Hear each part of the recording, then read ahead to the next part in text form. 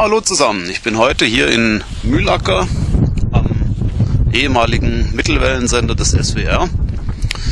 Und ja, ich weiß nicht, ob ihr es mitbekommen habt. Der Sender soll höchster Wahrscheinlichkeit abgerissen werden. Ich glaube, 2. März ist der Termin, wo er gesprengt wird.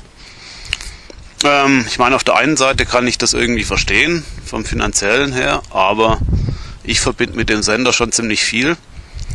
Äh, ich hatte damals ähm, auf dem Leonberger Flohmarkt ein, einen Kosmos-Baukasten ergattert und habe den dann in Betrieb genommen.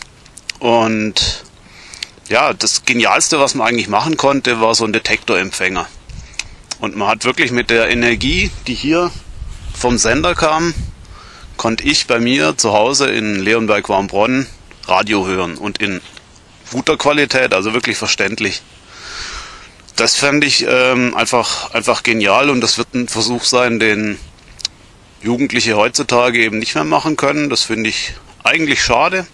Von dem her fände ich schön, wenn man den Sender erhalten könnte und vielleicht so, naja, vielleicht eine Stunde pro Woche noch hochfahren könnte, so als freies Radioprojekt oder so. Muss ja nicht mit 100 Kilowatt sein, das reicht ja ein Kilowatt.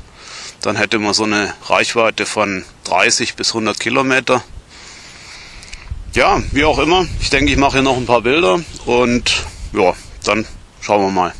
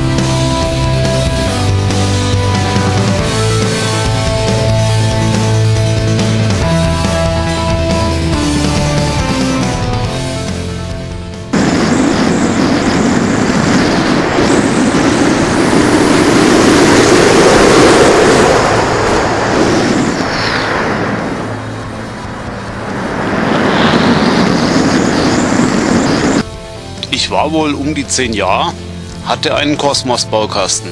Das war doch klar. Damals war ich Elektronikanfänger. Und das Beste war der Detektorempfänger. Er funktionierte ganz ohne Batterie. Denn du schicktest mir die Energie. O Mühlacker Sender, man sieht dich von fern. Nein, du darfst nicht gehen. Wir haben dich gern.